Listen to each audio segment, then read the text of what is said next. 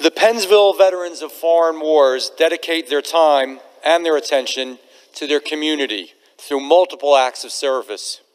Comprised of veterans and those active in the military, the Pennsville VFW doesn't just talk about how they help others, they actively engage in service projects that better the lives of their community. When local EMTs needed a battery-operated stretcher, the Pennsville VFW provided it. When the Pennsville Police Department needed bulletproof vests, they provided that as well.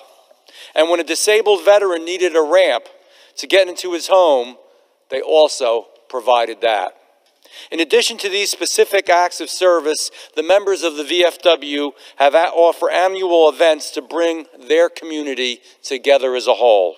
Every year, the Pennsville VFW members organize a dinner and a pheasant hunt for disabled veterans, as well as an annual Memorial Day to honor those who have died for our great United States of America. We are immensely grateful to the services of all New Jersey organizations that help those who have served our country. I especially want to thank the Pennsville Veterans of Foreign Wars, whose countless acts of service make an incredible impact on our community as well as our country. We are proud of them and we love them for what they have done. And I yield back.